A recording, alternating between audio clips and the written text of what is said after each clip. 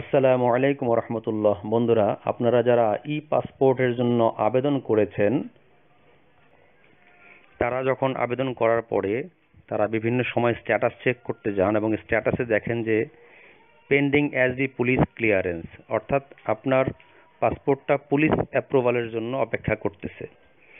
তো এরকম অবস্থায় অনেক সময় আপনারা বুঝতে পারেন না যে, পুলিশ তো আমাকে ফোন দেয়নি, তাহলে আমি কীভাবে পুলিশের সাথে যোগাযোগ করব? অথবা বেশ কয়েকদিন হয়ে গেল, কোন পুলিশের হাতে আমার কাজটা আছে বা আমি কোথায় যোগাযোগ করব বা পুলিশ তো আমাকে এখন পর্যন্ত কল করেনি, তো সামহাও হয়তো বা আপনার মোবাইল নাম্বারে সে রিচ করতে পারে নাই বা যে কোনো কারণে হোক পুলিশ হয়তো আপনার সাথে যোগাযোগ করতে পারে না। তা আপনি নিজ থেকে যদি যোগাযোগ করতে পারেন, তাহলে আপনার পাসপোর্টের কাজটা খুব দ্রুত হয়ে যাবে।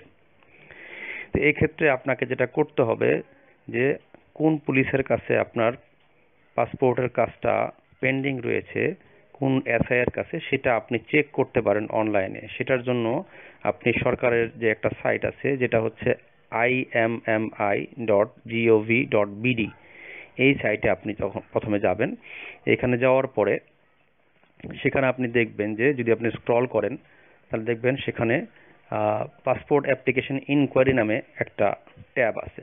তা আপনি পাসপোর্ট অ্যাপ্লিকেশন ইনকোয়ারিতে আপনি ক্লিক করবেন। ক্লিক করার পরে এখানে দেখবেন যে আপনার পাসপোর্ট অফিসের স্লিপ নাম্বার এবং ডেট অফ বার্থ এইটা লেখার জায়গা রয়েছে। এখন আমরা যেটা করব, আপনার পাসপোর্টের ডেলিভারি স্লিপে যে অ্যাপ্লিকেশন নাম্বারটা দেওয়া আছে একদম উপরে বাম কর্নারে তো সেই নাম্বারটা আপনি এখানে এন্ট্রি করেন। নাম্বারটা আমি এন্ট্রি করতেছি একটা নাম্বার তো দেখুন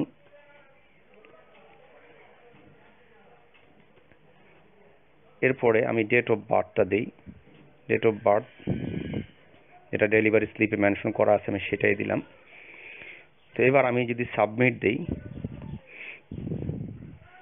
সাবমিট দেওয়ার পরে দেখব, দেখেন যে পাসপোর্ট অফিসের স্লিপ নাম্বার হচ্ছে ফোর ডাবল জিরো ফোর চারটা জিরো আট সাত নয় নয় তিন।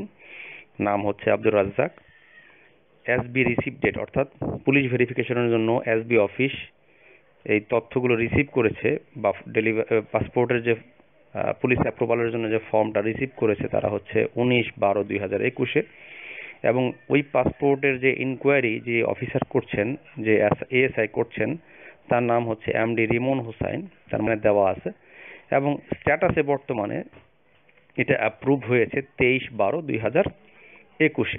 অর্থাৎ উনিশ তারিখে উনি রিসিভ করেছে, তার মধ্যে উনি অ্যাপ্লিকেন্টের কাছে ফোন দিয়েছে, তারপরে হয়তো যোগাযোগ করে তথ্য এবং হচ্ছে অন্যান্য কাগজপত্রগুলো নিয়েছে। দেন উনি যখন সন্তুষ্ট মনে করেছে, উনি অ্যাপ্রুভ করে দিয়েছে এবং অ্যাপ্রুভালটাও সিস্টেমে এখন দেখাচ্ছে। তো এরকম করে আপনি যদি চান, আপনি আরও একটা নাম্বার হয়তো চেক করতে পারেন। যেমন ধরেন আমি যদি আরেকটা নাম্বার চিন্তা করি, যে আপনাকে দেখাই।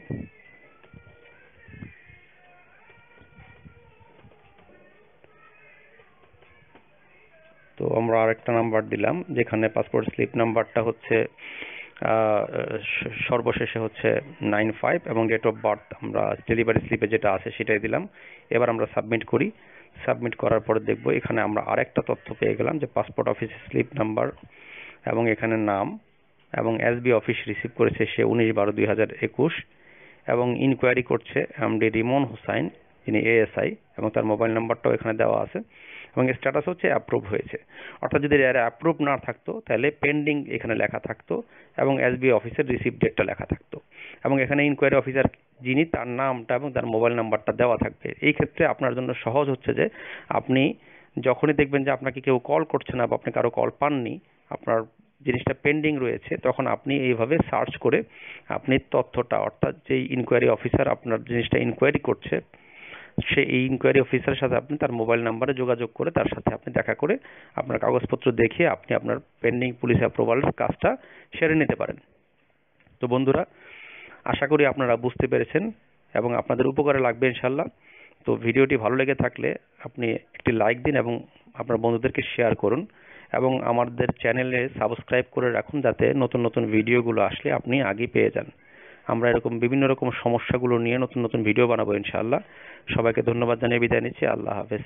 আসসালামু আলাইকুম রহমতুল্লাহ বারকাতুহ।